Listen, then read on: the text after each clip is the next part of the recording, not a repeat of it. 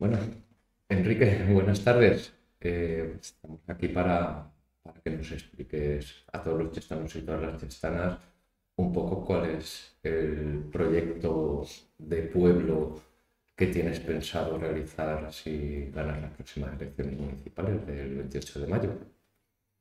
Hola, buenas tardes, Xavi. Eh, nosotros, en primer lugar, el proyecto de pueblo que queremos, que queremos es un pueblo eficiente, es decir, un pueblo donde las cosas básicas se ejecuten y se hagan de manera constante, no solo a cuatro meses de las elecciones. Queremos un pueblo limpio, queremos unas calles que no estén parciadas, que no estén bacheadas, que no estén con agujeros. Queremos unas aceras que no estén llenas de grietas. Queremos unos servicios de calidad. Queremos una limpieza buena. Queremos una recogida de basuras y limpieza de contenedores constante.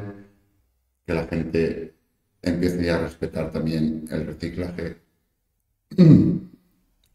de una manera habitual y sobre todo, sobre todo, sobre todo, lo que nos vamos a centrar mucho si entramos en el Ayuntamiento de Cheste es la gestión. Y dirán, la gestión, esa palabra es muy ambigua, ¿no? Sí, es tan ambigua que si no lo haces bien, un ayuntamiento no sirve para nada. ¿Por qué? Porque la gestión es fundamental en cualquier ámbito de la vida. Y el ayuntamiento de Chester, por desgracia, hoy carece mucho de gestión. Nosotros hemos conformado un equipo bastante potente en cuanto a esa gestión. Somos todos, somos todos profesionales del sector público o del sector privado que nos queremos implicar en que el pueblo se gestione de una manera más eficiente, haciendo que también se involucre el personal funcionario del ayuntamiento. Y una vez que se ponga en marcha esa gestión, el pueblo podrá realizar otro tipo de actividades que hoy en día no se hacen y que hay que externalizar para poder ejecutarlas. Mm. Eh, me parece muy bien, sobre todo el tema de gestión eficiente y que sobre todo involucrar a los funcionarios.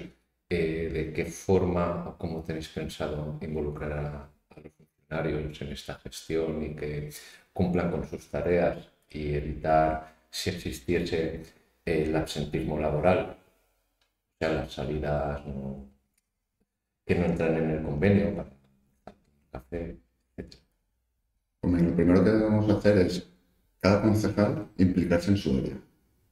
Pero implicarse con palabras mayúsculas, es decir, implicarse. Para eso, ¿qué va a hacer el concejal? Hacer un seguimiento del trabajo que se hace.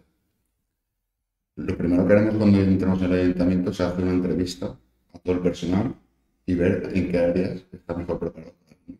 Excepto los que ya concretamente están en un área definida, como la parte de intervención, como la parte de tesorería, que ya son gente pero hay gente de administración general que dependiendo de dónde lo ubique puede dar mejor resultado o un peor resultado. Creemos que es fundamental hacer un análisis pre antes de empezar a gestionar para ver dónde va a ir ubicada cada persona.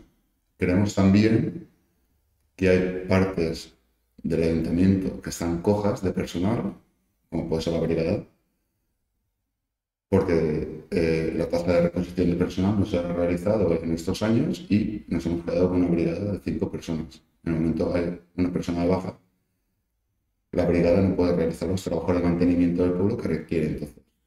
Eh, todo esto son pinceladas que nos han ido llegando estos cuatro años de legislatura y ahora lo que queremos hacer es corroborar pinceladas que nos han dado, reuniéndonos con todo el personal del ayuntamiento y realizar un análisis exhaustivo de las necesidades de cada departamento. Y el concejal de cada área se responsabilizará de hacer el seguimiento de que estas personas realicen el trabajo que tienen acometido. ¿Y se va a controlar de alguna forma las horas trabajadas o el, horario, el tiempo que permanece, que permanece cada trabajador del ayuntamiento y cada funcionario en su puesto de trabajo y el que no está en su puesto de trabajo? Evidentemente se llevar un control, porque aquí todos recibimos un salario por cumplir con unas horas de trabajo.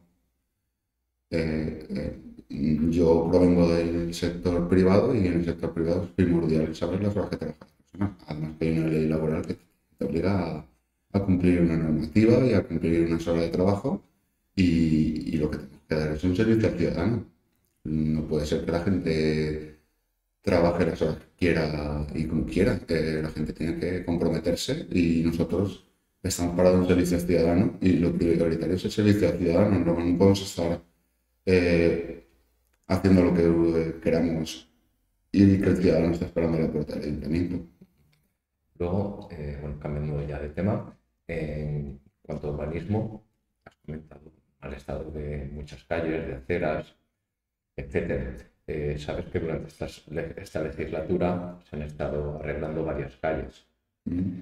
Eh, yo, bajo mi punto de vista, creo que no se ha controlado.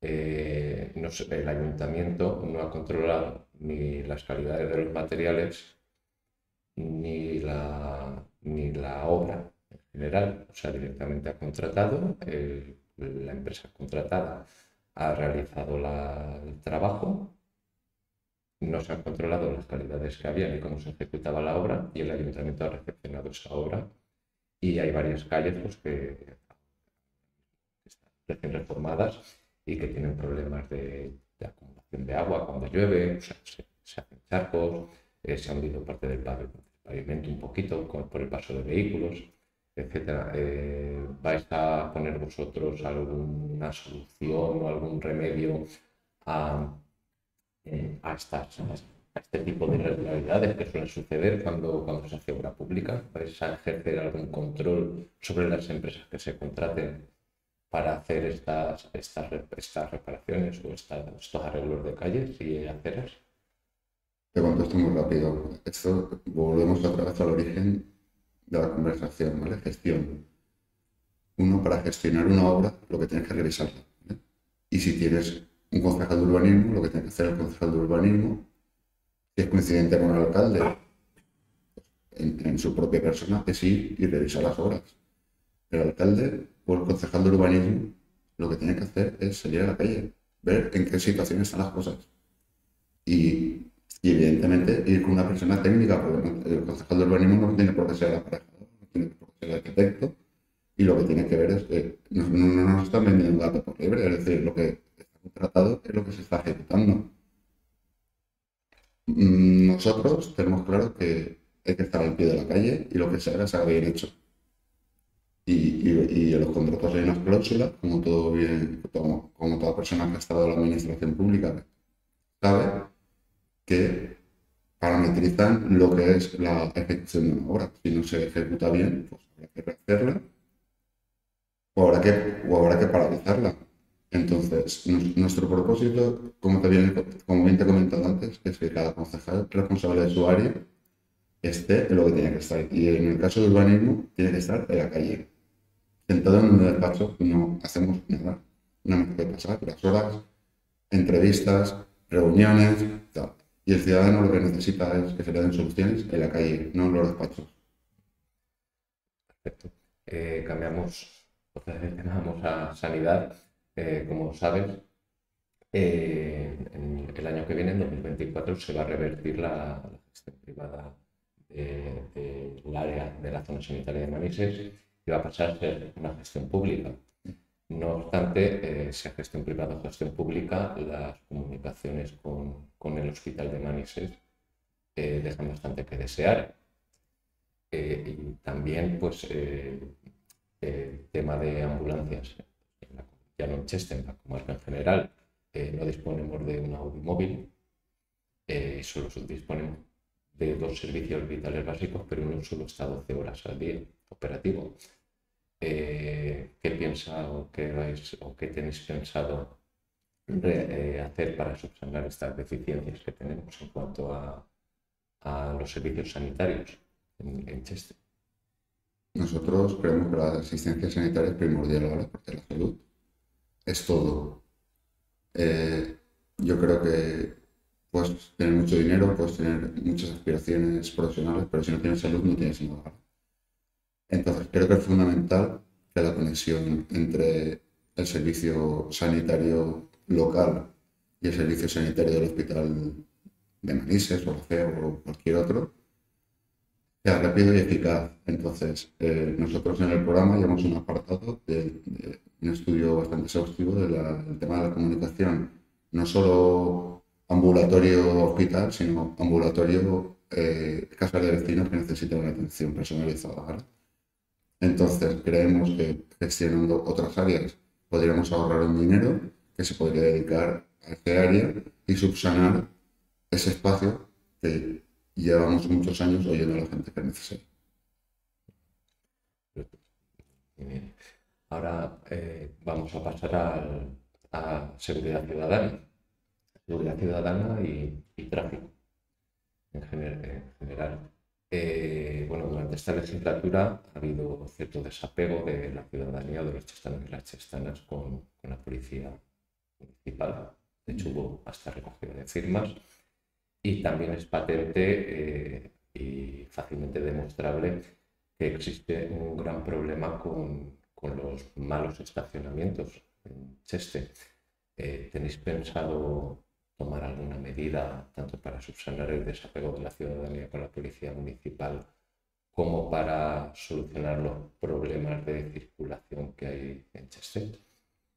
Sí, eh, como te he comentado al principio de la entrevista, si entramos al ayuntamiento a gobernar, lo primero que haremos es unirnos con las distintas áreas de funcionarios y trabajadores del ayuntamiento. Y una de las áreas es la policía local. La policía local, como tú bien dices, eh, tiene un desapego del ciudadano que a veces es positivo y a veces es negativo. Y me explico. Eh, normalmente el policía local hace el trabajo de cumplir las normas. Y lo que tenemos que hacer también es respetar las normas sin que esa persona se extralimite en sus funciones. Entonces, yo creo que es primordial que por parte del ayuntamiento y por parte de la policía nos sentemos, nos comuniquemos, porque yo creo que en esta legislatura lo que hay, ha habido un grave problema de comunicación entre policía y ayuntamiento. Creo que muchas de las intervenciones o eh, desapegos que ha habido por parte de la ciudadanía han sido por malos entendidos entre la policía y esas personas. Y ahí tiene mucho que decir el ayuntamiento porque, eh, como todos bien sabemos, cada día hay burocracia, más normativa en cuanto a la ejecución de muchos actos y cosas. Y, si eso no lo cumples, automáticamente se te, se te bloquea el acto. Entonces lo que tenemos que hacer desde el ayuntamiento es anticiparnos a todas esas cosas, una buena relación entre ayuntamiento, policía y ciudadano que la policía también sea más cercana al ciudadano, por lo tanto, la gente entenderá mucho mejor que hay normas que hay que cumplir de cierta manera. Y sobre todo, ya te digo, mucha comunicación que creo que ha carecido durante esta legislatura entre la policía y el ayuntamiento. Creo que ha habido un grave problema de comunicación y al final eso ha repercutido en negativo al ciudadano. Y me habías preguntado sobre el tema de, del tráfico. Vale los problemas de tráfico que hay por los estacionamientos. Bueno, nosotros hemos visto que durante, hemos detectado un problema muy importante en Cheste, que durante estos años se han hecho muchas calles peatonales o semi-peatonales. Eh, ¿Qué pasa? Que tú cuando peatonalizas los vehículos, de repente tú no los puedes no los puedes guardar en el bolsillo, tú o los tienes que meter en un garaje o los tienes que buscar otra ubicación.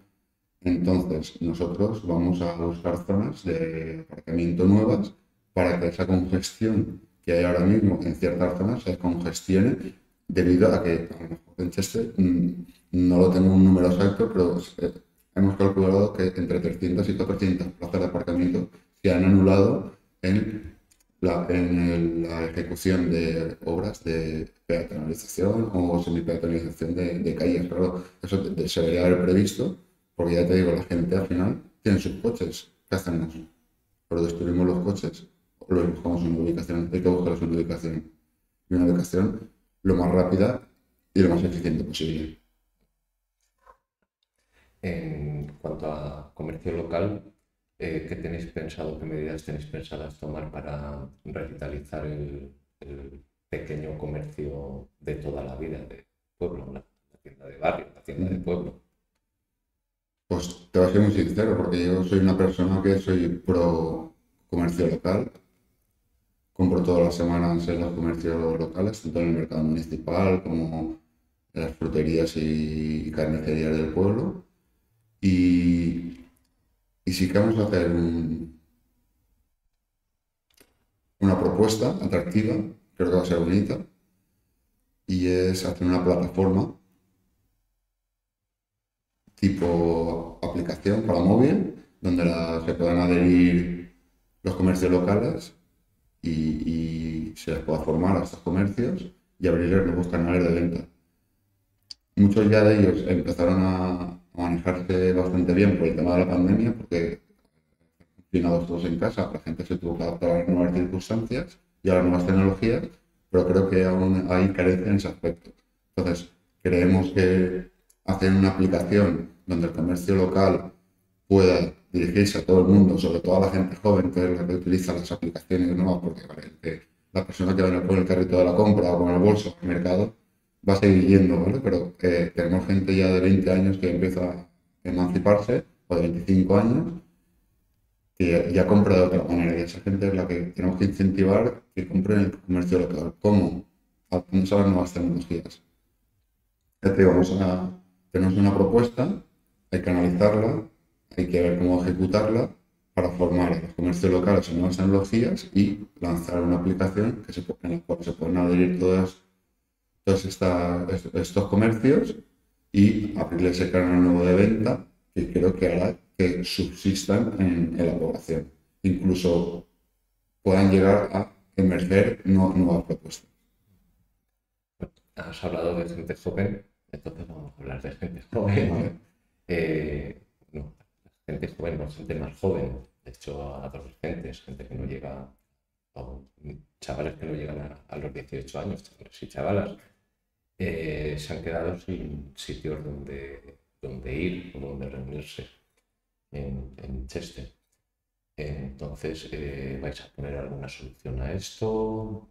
¿Tenéis algún, programa o alguna iniciativa pensada que sea específica para, adolescentes? Mm, como bien podrá comprobar la gente ahora en cuanto pasemos a,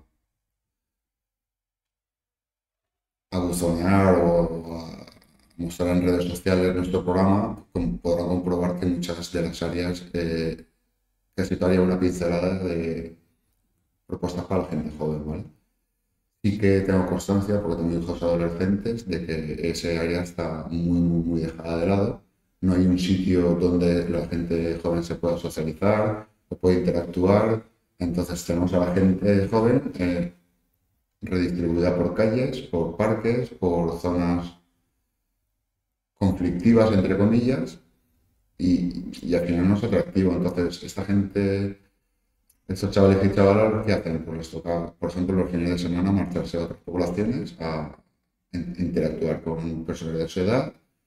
Y nosotros sí que tenemos pensado eh, implementar un, un, espacio multiusos donde esta gente pueda sociabilizar, pueda unirse, puedan interactuar y que sea al revés, vengan gente de otras poblaciones a Cheste a, estar con ellos.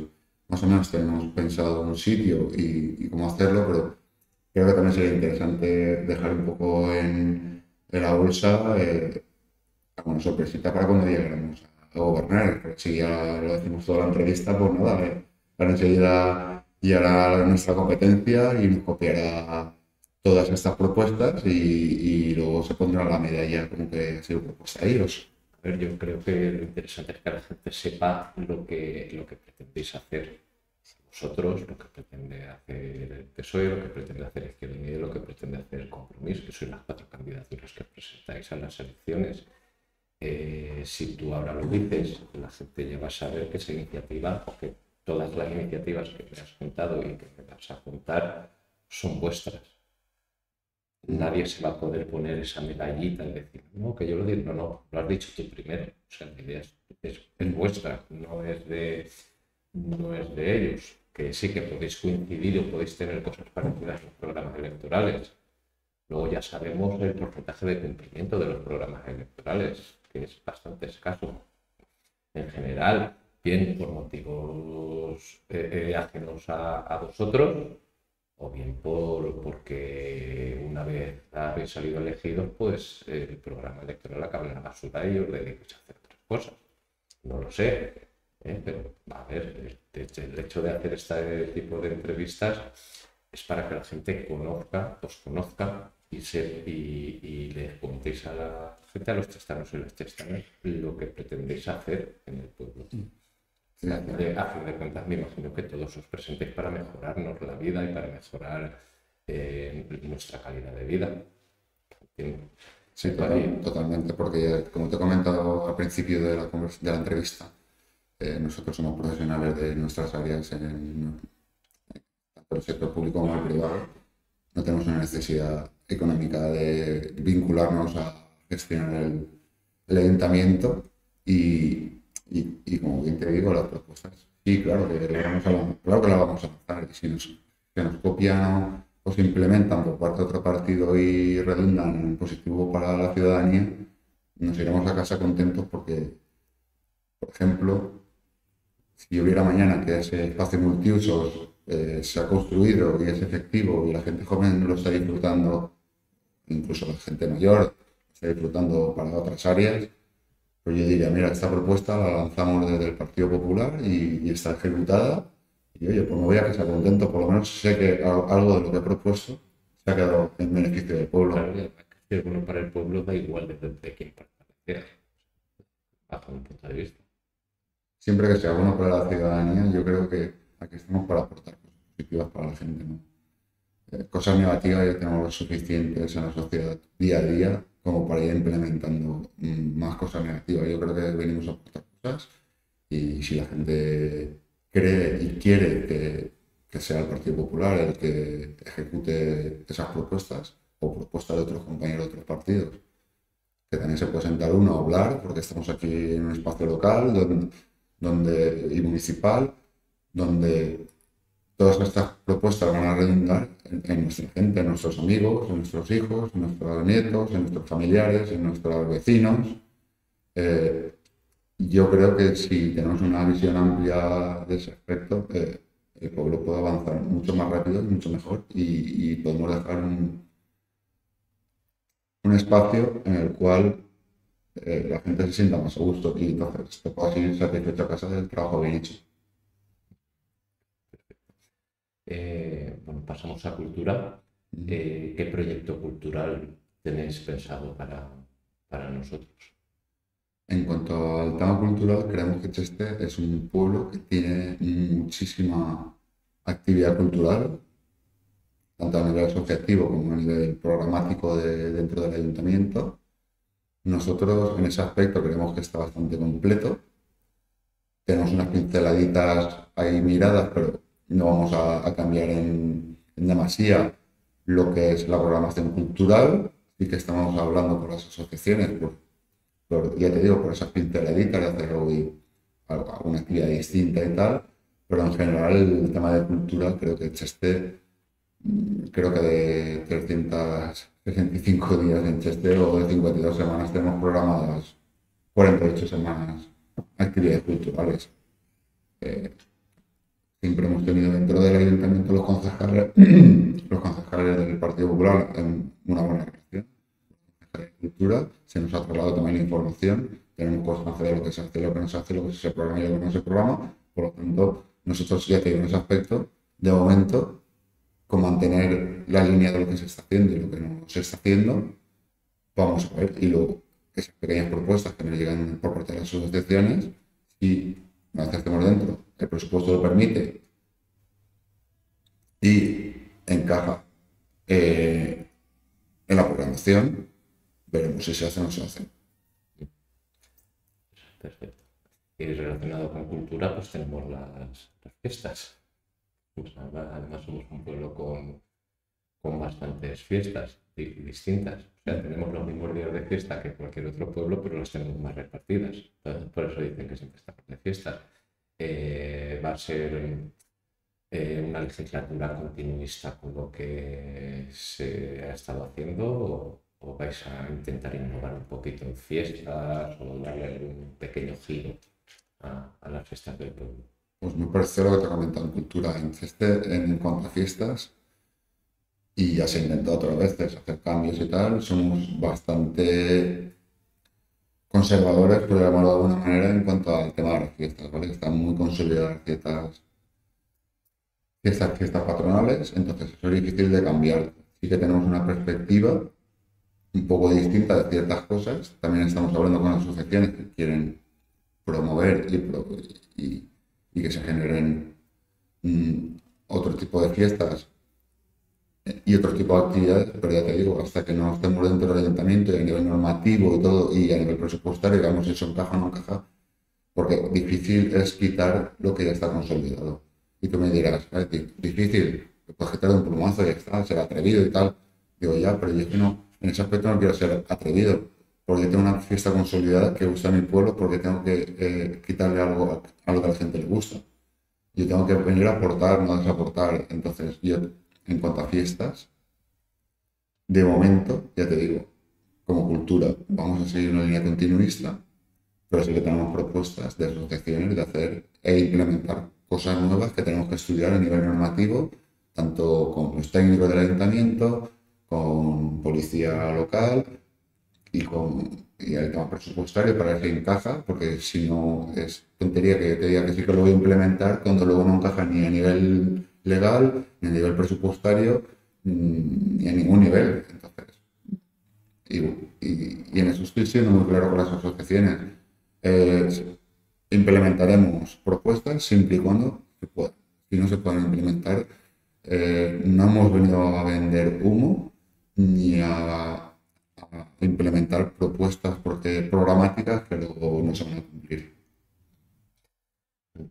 Eh, bueno, ya sabemos todos que Cheste, eh, que somos un pueblo, eh, no te digo 100%, pero 60% agrícola. por suerte tenemos una, una bodega muy fuerte que hace muy bien las cosas y que gestiona muy bien todo lo que es la agricultura en nuestro pueblo. Pero siempre hay cosas que, que dependen del ayuntamiento. La tema agua, hospitales, etcétera. Eh, ¿Vais a cambiar algo de lo que se ha hecho? ¿Vais a continuar con lo que se ha hecho? ¿En qué, en qué tenéis pensado mejorar eh, eh, las cosas a los agricultores de este pueblo? la agricultura es el sector que nos da de comer, primero y principal, y, creo que está bastante denostada en estos últimos tiempos en general. En Cheste yo soy, consejo, yo soy miembro del Consejo Agrario desde, desde el principio de la legislatura y, y, sé muy bien la problemática que, que, nos traslada el agricultor, porque dentro del Consejo Agrario estamos tanto políticos como agricultores, como asociaciones agrícolas, como la Chesta Agraria, como la Caja Rural, ¿vale? Y, lo que nos trasladan los agricultores es, ya que tengo dificultades, no me dificultes más. Es decir, eh, los caminos, por favor, desbrózame los caminos, eh, dame vías de acceso rápidas y ágiles, no me compliques la vida. Y lo que sí que es primordial es que se arregle el tema del agua pero no solo para los agricultores, para los agricultores y para el consumo humano. Si no tenemos agua, mm, da lo mismo en la agricultura. Si no se riega, eh, las plantas necesitan para, que generen producto, necesitan del agua. Y el agua es un bien imprescindible para, para la futura de Chester.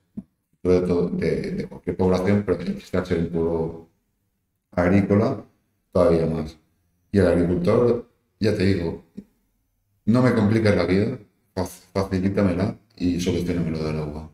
Y, nuestro objetivo de esta legislatura es solucionarle los problemas al, o facilitarle la vida al agricultor en cuanto a tener arreglados los caminos constantemente, una vez al año, una vez cada cuatro años cuando vienen elecciones, y, y luchar porque el agua llegue lo más rápido posible, reuniéndonos con quien haga falta las consellerías que dan falta, las poblaciones que dan falta, pero creo que hay que darle celeridad a ese asunto para que el agua por fin se deje solucionada y nos quitemos un problema de encima. pero...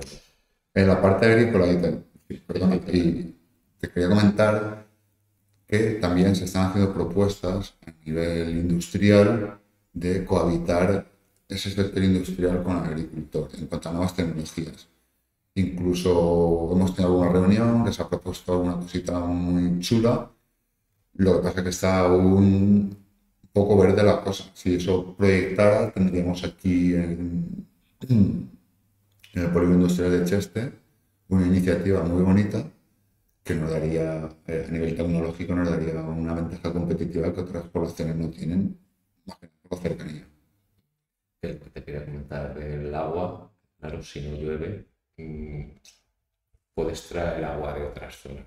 sí que hay agua, pero si deja de llover en esas zonas, te vas a encontrar con unas infraestructuras obsoletas eh, que no se van a utilizar eh, claro, todo esto tiene que ver con el cambio climático, que ya está demostrado que existe, es así, lo estamos sufriendo. De hecho, las temperaturas que estamos teniendo estos dos últimos meses no, son normales y la sequía que estamos sufriendo tampoco es normal.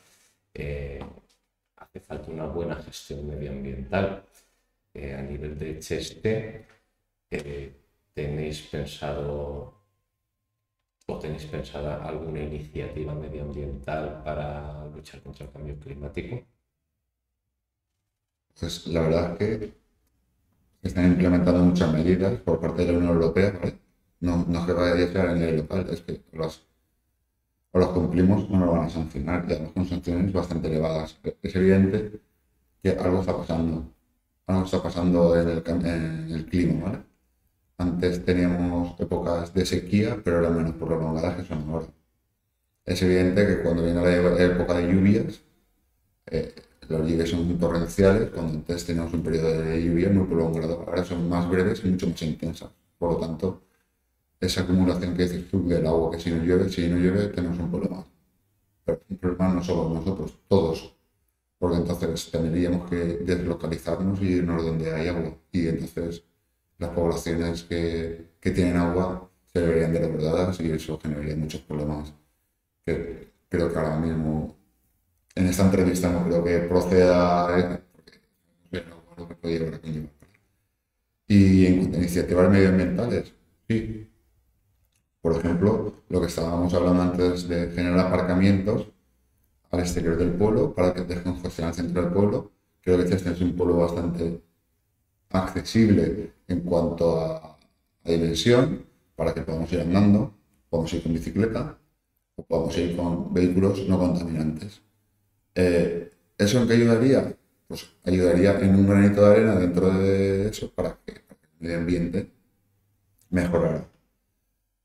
Eh, todavía creo que la, gente no está concienciada eh, en ese aspecto, porque si pasas por el pueblo, tú eres una persona del pueblo de toda la vida, la gente sigue yendo por el pan con el coche, sigue yendo a, llevar a los niños al colegio con el coche y sigue haciendo el 80% de su actividad con el coche. Entonces, eh, es absurdo que hablemos de que, de que vamos a ayudar al cambio climático cuando las personas todavía no nos hemos mentalizado que tenemos que cambiar nuestros, nuestros hábitos de vida para, para llegar a ejecutar eh, esas propuestas. Entonces yo creo que es fundamental eh, empezar ya uno desde casa, aplicándose a uno mismo, aplicándose a, sus hijos, o sea, en educación, y, e invertir en educación para que llegue un momento que la gente ya... Eso es como el cinturón de seguridad, ¿no? Que antes no se lo ponía a nadie y nos han concienciado que el cinturón de seguridad es positivo y es bueno para nuestra vida. Pues esto es lo mismo, es decir, eh, nuestra salud depende del medio ambiente. Si el medio ambiente está deteriorado, nuestra salud va a deteriorar. Por lo tanto, es una cosa que tenemos que enseñar desde niños. Y creo que en ese aspecto mm, no se están haciendo las cosas todavía como al 100% como se deberían hacer, incentivando esas políticas de, educación ambiental. Bueno, has comentado, eh, cuando hemos hablado de agricultura, que, que estáis en negociaciones porque será muy temprana, me imagino, para que se implanten empresas de tecnologías en el polígono. O uno de los que tenemos. Eh, todos sabemos que el principal gasto que tiene una empresa, la industria es el gasto energético. Eh, claro, el precio de, la energía no depende de un ayuntamiento, pero se puede hacer algo o se puede desde el ayuntamiento, se puede hacer algo de alguna forma para que ese gasto energético, empresas, bueno, ya de paso también a nosotros, a la ciudadanía, eh, se reduzca.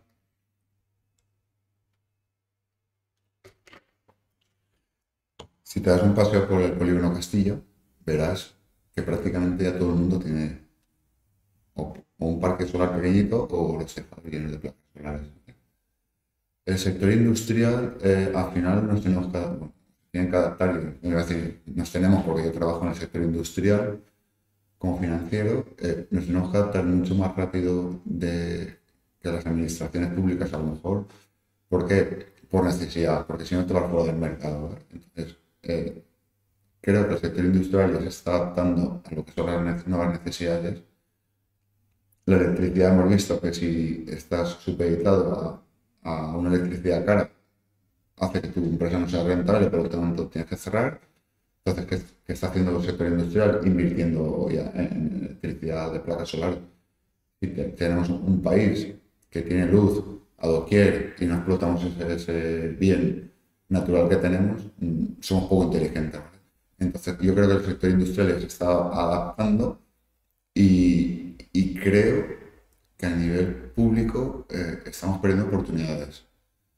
Eh, la Unión Europea nos está dando los fondos Next Generation, que supuestamente eran para cambiar un poco, base a la guerra de Ucrania, el COVID, eh, la pandemia y tal, para cambiar un poco la perspectiva a la hora de, gestionar nuestra, nuestra industria, porque nos hizo ser dependientes de países asiáticos y como pudimos ver, por ejemplo, en, la pandemia, eh, incluso no, llegábamos a tener mascarillas, por ejemplo.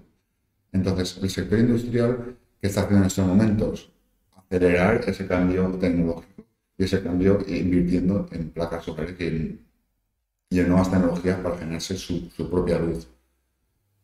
¿En qué podemos ayudar la, la administración?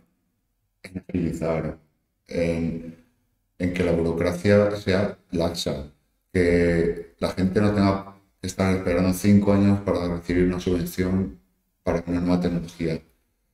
Ya, te digo, hay miles y miles, creo, la cifra no me acuerdo, pero creo que eran 150 mil millones de euros habilitados para de fondos Generation para cambiar lo que es eh, el parque industrial europeo y en este caso español y, veo que al final la empresa privada se tiene que generar sus, propios recursos y lo que deberíamos hacer como administración pública es agilizar esos, esos recursos y facilitarlo por nuestro futuro, no por otra cosa.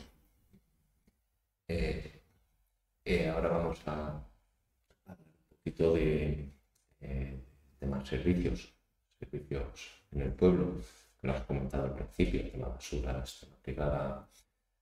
a ver, resulta que la, la brigada está desbordada, la brigada municipal, el pueblo es muy grande para cinco personas, para que cinco personas hagan mantenimiento. Y luego, pues en tema residuos, en tema basura, pues sabemos que en invierno no pasa tanto, pero que en verano mm, hay contenedores que no sabes si merece la pena limpiarlos o pegarles fuego. Eh, luego tenemos también el tema del, como has comentado, el tema del reciclaje. Eh, y también tenemos el tema del consorcio Valencia Interior, la por, la separación de, los restos, separación del orgánico y, restos que se puedan reaprovechar.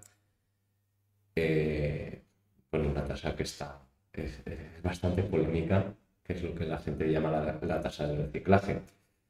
Eh, desde el ayuntamiento, de reforzar la brigada que nos he comentado y de la empresa el tema de, recogida de basuras, que, has comentado para utilizar o para limpiar más los contenedores.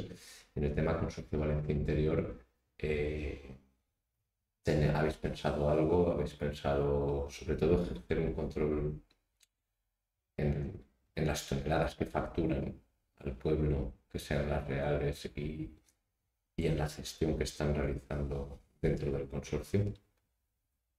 La verdad que el tema del consorcio poco, te puedo aportar porque tengo desconocimiento de datos.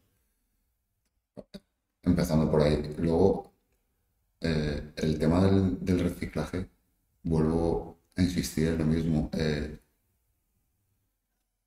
no hablemos de consorcio eh, interioricémoslo nosotros mismos, es decir, todos separamos bien la basura, hacemos el proceso selectivo, porque si yo seleccionamos bien la basura y hacemos todo bien, a lo mejor el consorcio le podemos decir, para, que yo te doy todo mascadito, dedícate a hacer eso y la tasa que me cobras no es la correcta. Ya te digo, desconozco los datos, no tengo la información y no me voy a meter en un charco en el cual mm, lo que te estoy diciendo no sea verdad. Pero lo que sí que te digo es que todavía no estamos concienciados de hacer un proceso selectivo de la basura. Entonces, lo que, eso que conlleva a un sobrecoste de proceso, de proceso. Me imagino que ese sobrecoste es el, el te digo, bajo mi desconocimiento, es el que el consorcio te traslada en su recibo. De todas formas, si el día de mañana estamos ahí, te podría contestar a esa pregunta ya con datos más, más ciertos. Yo, si me permites, dejo parte de entrevista y ahora paso a parte de opinión.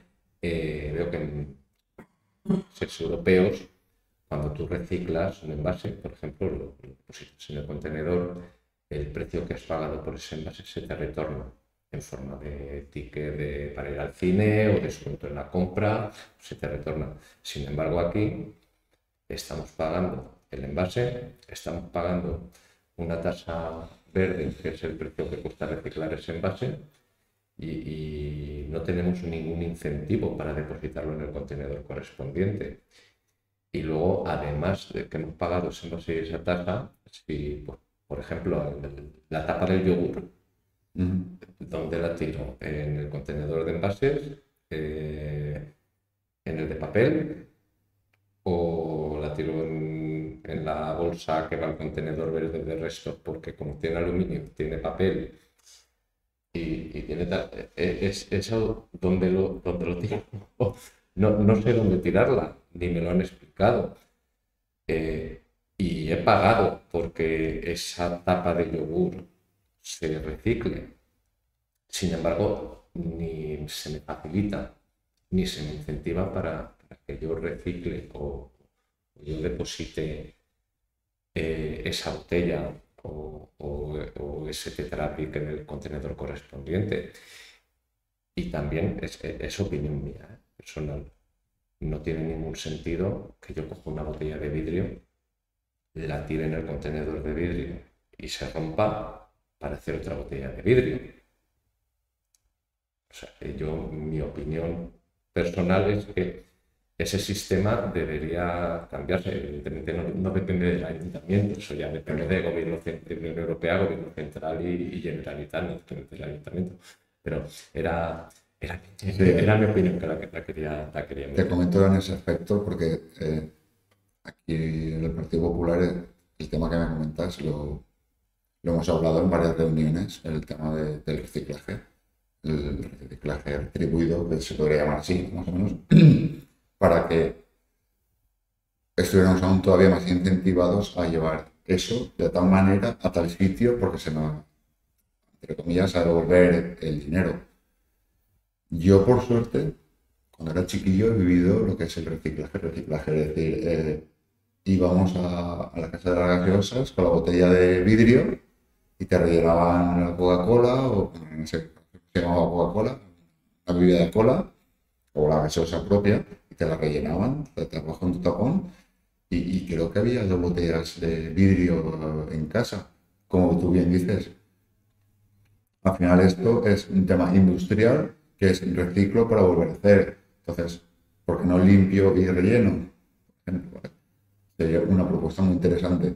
Y luego lo que tú dices, eh, nosotros en este caso, programáticamente, no lo vamos a llevar, no por nada, primero porque, bien, como tú bien has dicho, seguramente no depende de nosotros a nivel local, depende de una consellería.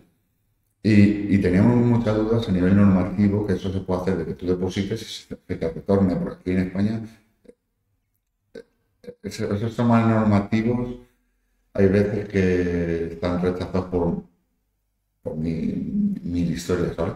Entonces, mm, nosotros la idea está ahí latente, queremos, si entramos en equipo de gobierno, seguramente consultemos a las consejerías, pero implementarlo seguramente o tenga que ser a nivel del ministerio o tenga que ser a nivel de consejería con una normativa muy clara, porque tenemos podemos tener el problema de que alguien te diga, no, es que no se te puede retribuir por dejar eso por parte de la administración, entonces se tendría que subcontratar a una empresa o crear una empresa pública.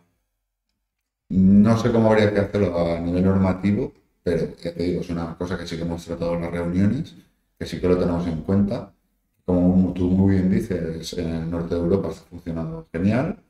Incluso la gente, hasta un tapón que hay en la calle, lo coge para llevarlo al sitio porque le molesta verlo en el suelo y, la verdad es que sí, sería una, una, cosa a tener en cuenta que nosotros ya lo hemos tenido en cuenta en las reuniones. Bueno, ahora ya totalmente.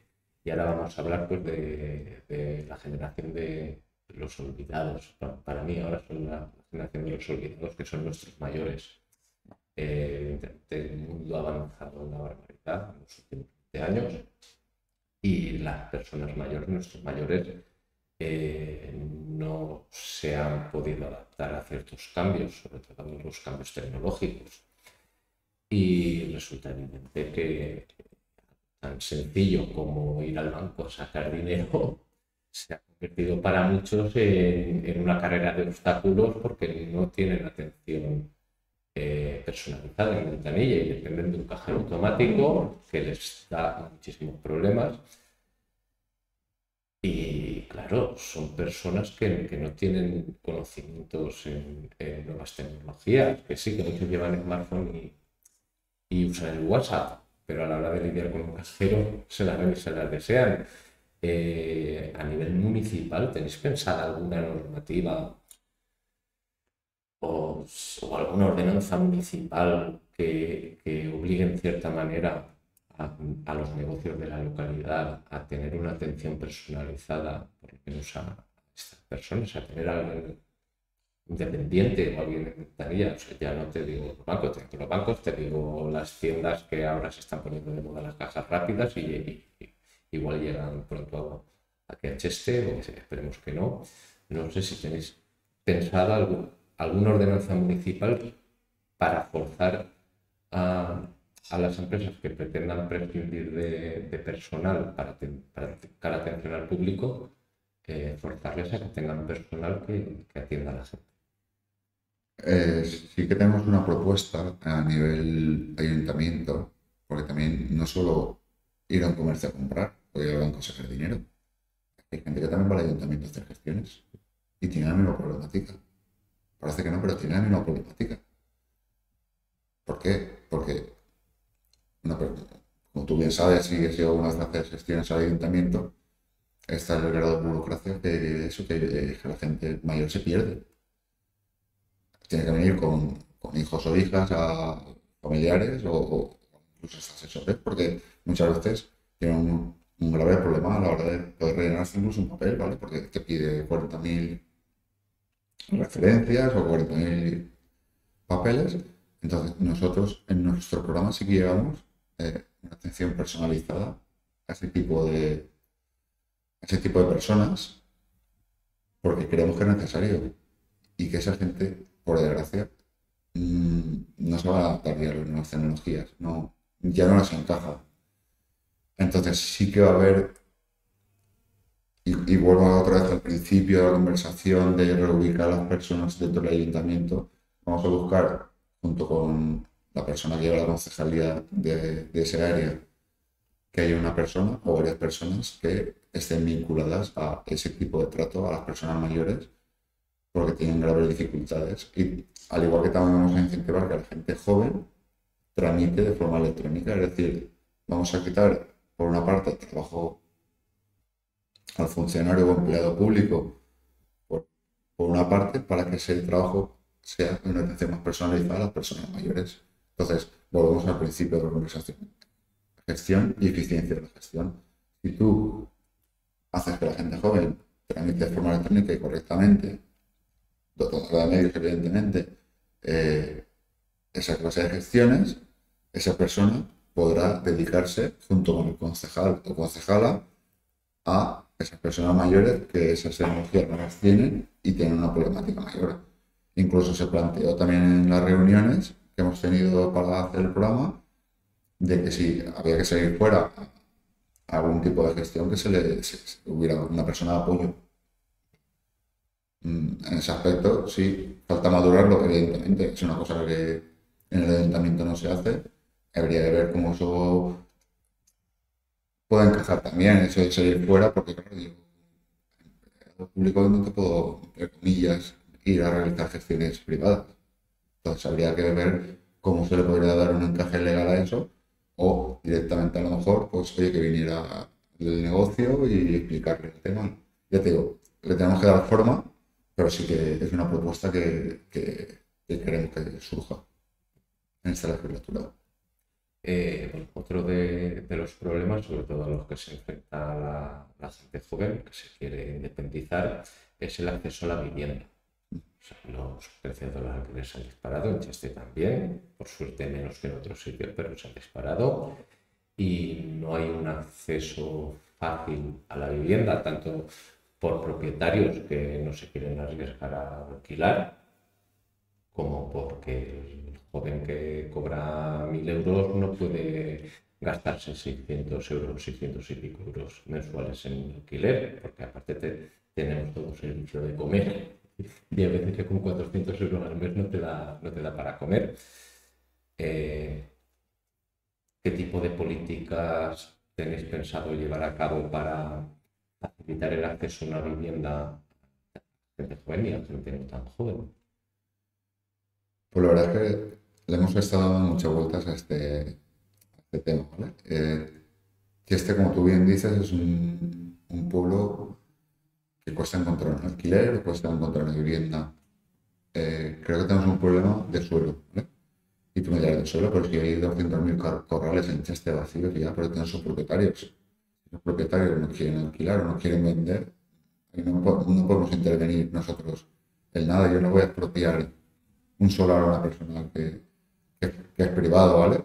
Entonces, lo único que cabría es abrir suelo urbanizable para que hubiera mayor oferta de suelo, se abaratara el suelo y se pudiera construir, construir vivienda. En el tema de vivienda social, que seguramente me vayas a preguntar pues tú por el tema, pues sí que sabemos que hay fincas ahí que se podrían habilitar para vivienda social, pero que eso se pueda ejecutar en un plazo breve de tiempo, pues todos sabemos que eso va a un fondo de inversión, el fondo de inversión lo revierte, luego no lo revierte, que si hay denuncias, que si no hay denuncias. Entonces, tú no puedes decir a la gente que le vas a una vivienda social y dentro de 15 años, cuando se haya ejecutado esa sentencia, me dirá, ¿y mi vivienda social dónde está? Bueno, hablando de social, vamos, eh, servicios sociales. Eh, por suerte, en Cheste, pues, hay trabajo. No tenemos, bueno, tenemos para, gente parada, pero en descenso y tampoco es un porcentaje muy alto de gente parada, pero sí que hay personas que, que dependen de, de, las ayudas que se ofrecen desde servicios sociales. Aquí en Cheste eh, vais a mantenerlo, vais a potenciarlo. Asuntos sociales en Cheste, por suerte, como bien dices, eh, tenemos una dotación presupuestaria bastante elevada que viene de la Consellería. Eh, creo que se hace un, una buena labor y buenos profesionales también. Eh, y sobre todo lo que se está ayudando a, integrar a la gente que viene de otros países por tener dificultad por el idioma y tal, adaptación. Este siempre ha sido, poniendo en valor la agricultura, siempre ha sido un, pueblo que ha acogido muy bien a, la inmigración. ¿Por qué? Porque la, agricultura siempre ha sido un sector refugio. Es un sector integrador. Entonces, la gente se ha adaptado muy bien a, este, a, nivel económico y a nivel del progreso personal. ¿Por qué? Porque está la agricultura que te ha abierto las puertas. Luego, en el tema de la asistencia social, pues sí, haciendo constancia de que se está haciendo un montón de programas de apoyo a gente que tiene necesidades escolares, que tiene necesidades sociales, que tiene problemas con la justicia incluso, y, ya te digo, implementar políticas yo en estos momentos a nivel social, pues podría decir que podríamos implementar alguna ayuda más a nivel de pueblo para el tema para el tema de inválidos y tal, porque creo que no se está haciendo todo lo que se debería hacer. Y, me explico, por ejemplo, no tenemos un centro de día para personas que tengan problemas mentales de cierto grado, que nos podrían aportar un gran valor y como bien decíamos anteriormente, estamos haciendo más y los problemas mentales cada vez son mayores. Y, y creo que deberíamos de actuar pre, no post. Es decir, eh, vamos a adelantarnos un poco a lo que viene, o intentarlo por lo menos, y luego no tener que correr y decir, jolines, es que tengo 200 personas que tienen este problema y ahora no por dónde ayudarlos vamos a hacerlo antes y decir, pues mira, pues progresivamente voy a dotar estas plazas, estas plazas y estas plazas, y cuando llegue el día de mañana, tengo el problema, entre comillas, solucionado. Radicalmente del tema y vamos a pasar a, transparencia. Eh, bueno, dicho tiene una página web con portal de transparencia. Eh, yo soy asiduo al portal de transparencia, pero me encuentro que eh, las ordenanzas municipales que hay, ni están todas, y algunas de las que están ya están obsoletas porque se han, se renovado, o sea, se han cambiado, eh, que no existe en ningún sitio eh, donde, se puede donde se pueda consultar la agenda de reuniones del alcalde y de los concejales. Y encuentras también que no hay prácticamente contratos públicos. No me refiero al contrato del agua o al o, al de las basuras, que, que, son contratos de la evaluación, ya me refiero ya a contratos menores o contratos con empresas que te arreglan en la calle, o tal, realmente el ciudadano no tiene forma de, de saber ni en qué se gasta el dinero, ni lo que hace el alcalde ni lo que hacen los concejales, salvo por lo que se va oyendo por ahí. se va oyendo por ahí eh, muchas veces difiere al 200% de la realidad. Entonces vais a darle un impulso a este portal de transparencia y vais a ser totalmente transparentes con todo lo que se hace el ayuntamiento, con quién os reunís y, aparte, eh, ya de paso, ya por pedir, vais a poner un, horario para atender al público, tanto el alcalde como los distintos concejales si queremos, tenemos idea de abrir el ayuntamiento al pueblo. Creo que en estos momentos era de los ayuntamientos más opacos que ha pasado, ha pasado en, en Cheste. Y me explico. Eh, pues como tú bien dices, el portal de transparencia no, no es portal ni es transparente. O sea, ni está confeccionado para ser un portal tal, tal cual, porque ni, no es dinámico, no, no aporta nada de dinámico y además están sin autorizar, porque tú bien dices, pero que tampoco tenemos la liquidación de los presupuestos. Bueno, son, yo creo que es una cosa que el pueblo a que le interese debería tener como se liquide su dinero. Ahí solo puesto, ¿eh? para que lo vean. Quiero saber cómo el ayuntamiento se gasta mi dinero. Eh, el portal de transparencia para mí va a ser súper importante.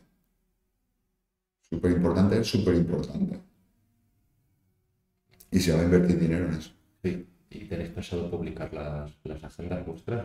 Yo no tengo nada que esconder.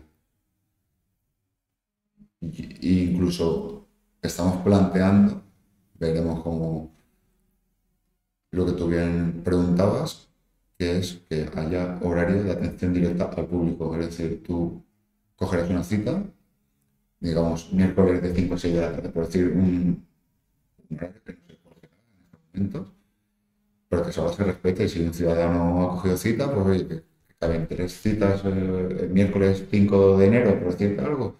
Pues el miércoles 5 de enero esas tres citas porque el alcalde lo, primero que tiene que hacer es escuchar al ciudadano. Porque está ahí para escuchar al ciudadano. tengo constancia que en el ayuntamiento ahora mismo hay gente que tiene citas pedidas dos años y no se la ha atendido. Y eso no puede ser. El alcalde está para atender al ciudadano.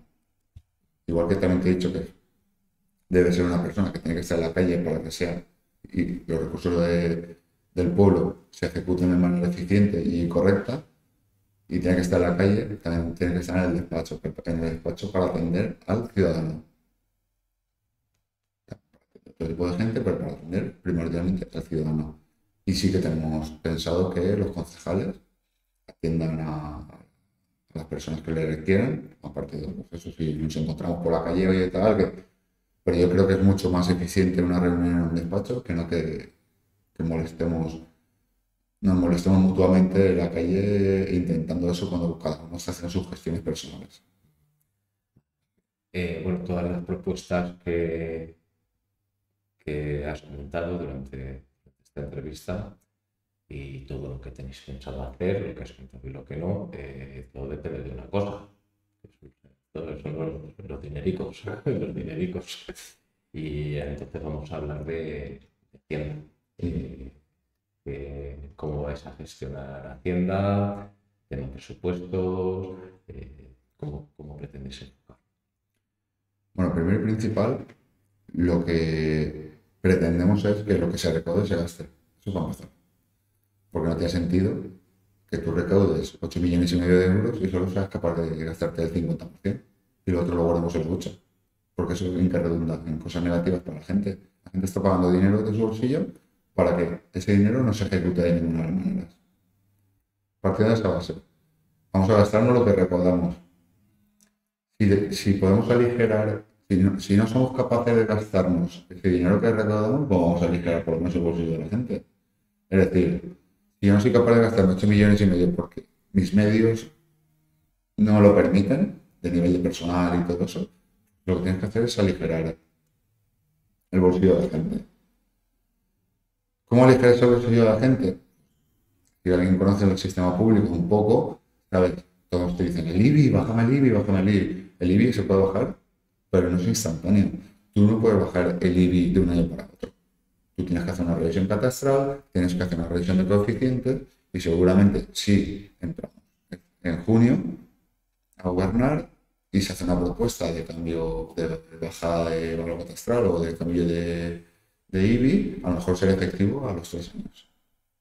Pero una cosa que sí que depende del, propio ayuntamiento, como tú bien dices, es la actualización de las ordenanzas. Y en todas las ordenanzas hay unas tasas y unos precios públicos. Yo no te digo que sea el chocolate del oro, pero sí que te puedo decir, oye, pues si te puedo bajar 10 euros de aquí, 5 de allá y eso, y te hago un compendio de 50 o 100 euros, oye, pues en día tal cual está el precio de todo, por 50 euros benefician a todo el mundo en llenarse un carro de la compra o, o, poder invertir en otras cosas, en, la subida del tipo de interés de las hipotecas o tal. Entonces, nuestra propuesta a nivel fiscal, ya te digo, es muy clara, es gestión de los recursos que tenemos. Y si tú recaudas 8 millones, lo primero que tienes que hacer es un presupuesto para gastártelos. Un presupuesto para gastártelos. Porque en esta legislatura nos hemos encontrado que solo se ha hecho un presupuesto en cuatro años encima no gusto. Entonces, si tú tienes un dinero, haz que revierta en tu pueblo. a medida que me sirve tener 10 millones de euros en una ducha si tengo las calles reventadas, tengo las aceras con grietas, tengo la iluminación. Eh, todo lo que hemos ido comentando anteriormente, si tengo la brigada bajo mínimo, ¿de qué me sirve? ¿De qué me sirve? Tener ese dinero. Yo creo que es fundamental a nivel económico, gestión, eficiencia, gestión y eficiencia. Y para hacer una buena gestión y, ser eficiente, o te gastas lo que recaudas o no lo recaudas. Y que la gente se lo lo que quiera. Bueno, ya casi para finalizar, no te quiero robar mucho tiempo, eh, de esta última legislatura, ¿qué gestiones continuarías del equipo de gobierno actual? ¿Qué gestiones continuarías y qué, y qué no repetirías o qué no continuarías bajo ningún concepto? Vas a coger lo positivo y lo negativo que se ha hecho estos últimos cuatro años. Pues igual te digo una cosa y te, te extrañas un poco. Pero yo, la verdad es que eh, si entramos ahora en junio en el ayuntamiento, seguramente lo que hago es una auditoría, porque no me creo nada de lo que veo, porque en cuatro años hemos tenido el gobierno menos transparente en el ayuntamiento. Por darte una pincelada, yo, yo estoy pendiente de recibir eh, registro de entrada y registro de salida para hacer un poco de fiscalización al ayuntamiento, pendiente de recibir. Cuando la ley me dice que en cinco días tengo que tener esa documentación en mi casa, que sí, que tú me digas, lo puedes denunciar y todo lo que tú quieras. No es cuestión de denunciar, es cuestión de que mm, no es transparente lo que se está haciendo. Por lo tanto, si no es transparente, yo lo que quiero es saber lo que pasa. Entonces, yo no te puedo decir que voy a seguir ningún cauce hasta que no sepa legalmente si está bien o no está bien. Porque yo lo que no voy a hacer es ya nada más entrar, meterme en ilegalidades. Y, y para no meterme en ilegalidades, seguramente me tocará hacer una auditoría y ver cómo está cada área y cada cosa. Y entonces, a partir de ahí, decidir, decidir a la gente, a mi gente, concejal de tal, concejal de cual, tal. Si sigue la línea que estaba haciendo cultura o sigue la deportes o sigue lo que está haciendo.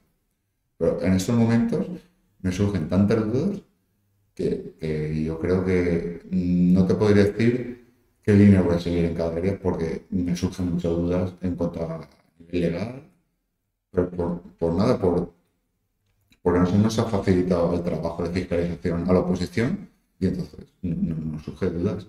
Es como si tú estuvieras escondiéndote de algo si, no, no se tiene que esconder de nada y es transparente, te diría, sí, este área tengo todo claro, que así. y no es así porque a nosotros nos llegan informes de intervención que hay 1.200, 1.300 reparos de intervención. Por lo tanto, ¿yo qué tengo que considerar? ¿Que se hace las cosas bien? No. ¿Que no me manda la documentación? Sí. Una cosa, otra, la uno y digo, no me creo nada. No me creo nada, quiero que se audite y que, y que nos diga lo que hay y lo que no hay. ¿Y qué es lo que qué es lo que no harías que se ha hecho durante estos cuatro años bajo ningún concepto?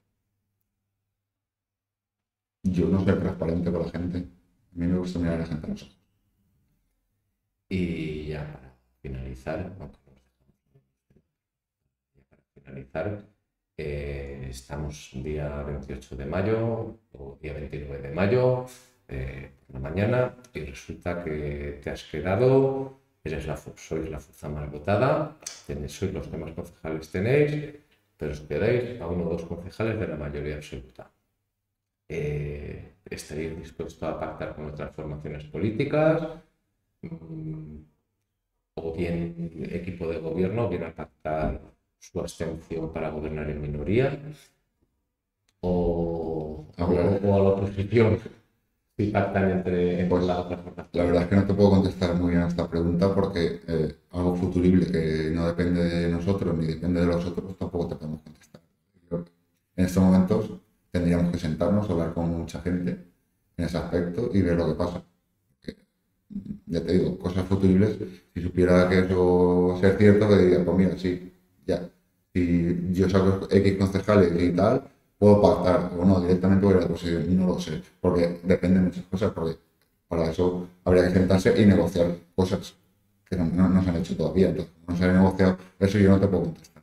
Cosas futuribles también son las encuestas que hacéis todos los partidos políticos y las hacéis siempre y estáis ahí. No, nosotros no hacemos ninguna encuesta. Yo, la encuesta la hacemos en lo que día a día. Pero yo a mí, no me creo que estéis barajando la de ver, de, ver qué hacer para, tener la alcaldía sin sacar una mayoría absoluta. pero no es que no me lo crea yo, es que a cualquier persona de Cheste que le preguntes no se lo va a creer, pero no vosotros, ni vosotros, ni, si el PSOE saca eh, cinco y necesita tres concejales o dos concejales o ni si por una de aquellas Izquierda Unida Compromiso también les faltasen uno o dos concejales para, para gobernar. O sea, nadie se cree que ahora mismo... disculpa, nadie se cree que ningún partido político, no en Cheste, a nivel nacional, baraje la opción de llegar a acuerdos de gobierno si no consigue una mayoría suficiente para gobernar. No, no se lo cree nadie. Nosotros ahora mismo estamos centrados en la mayoría absoluta y estamos dedicando todo nuestro esfuerzo y todos nuestros recursos a conseguir mayoría absoluta. Lo que decida la urna, eh, las urnas el día 28 es otro camino a seguir. Y cuando llegue el día 28, o como tú bien dices, el día 29, el día después, si no hay una mayoría absoluta, habrá que sentarse a hablar de ciertas cosas con ciertos partidos con ciertas personas. Hasta allí no te puedo decir más, porque nosotros ahora mismo estamos centrando todos nuestros esfuerzos y todos todo en, ir a por la mayoría absoluta. Me imagino que con todos los partidos políticos. Cuando uno se presenta a unas elecciones es porque quiere, y, cuando se presenta de número uno, porque primero quiere ser alcalde y quiere tener una mayoría absoluta para gobernar y hacer las cosas que él, propone, que ese grupo político propone. Eh, te digo, son elucubraciones y futuribles que yo no. El Partido Popular está centrado ahora mismo 100% en ganar las elecciones. Lo demás ni siquiera se ha puesto a la mesa. Bueno, ya. Por mi parte, ya está todo y bueno, salvo desear la, mayor suerte del mundo eh, para el día 28 de mayo, todos los chestanos y las chestanas y que ganen la, la, opción que mejor, la opción política que mejor lo vaya a hacer en el pueblo. O sea, no voy a decir si sois vosotros o es cualquier otro partido. Yo para mí la suerte se la deseo siempre a los chestanos y chestanas, no, no a las candidaturas. Eh, por mi parte es algo eso, si quieres añadir alguna cosa más. Eh. Agradecerte estos minutos que hemos tenido conversación. Creo que es un, buen canal para que la gente pueda acercar un poco eh, como sé yo que, proponemos en el Partido Popular para estas próximas elecciones y sobre todo lo que digo al ciudadano es que ejerza el derecho a voto. El día 28 de mayo tiene que ir a votar todo el mundo y contra más vote la gente, eh, sea una fuerza política u otra, lo que demuestra es que la gente está implicada en que alguien le represente con unas propuestas en el pueblo. Y ya te eh, estamos aquí preparados, el equipo, para todo lo que haga falta un equipo de profesionales importante e interesante y sobre todo eso, un equipo y aunque esté yo como líder y que el día 28 vaya todo el mundo a votar y, si, no, y si le gustan nuestras propuestas, pues claro, evidentemente. Y yo, además de que la gente vaya a votar, eh, le diría también a la gente que, que no se acaba ahí eh, a mí me gustaría también que la gente vaya con un cuchillo entre los dientes a los plenos y si hace falta sacar el cuchillo, que lo sacasen. Y yo por mí ya daría por terminada esta entrevista y, y nada, a ver lo que sucede el día 28. Bien, pues nada, muchas gracias.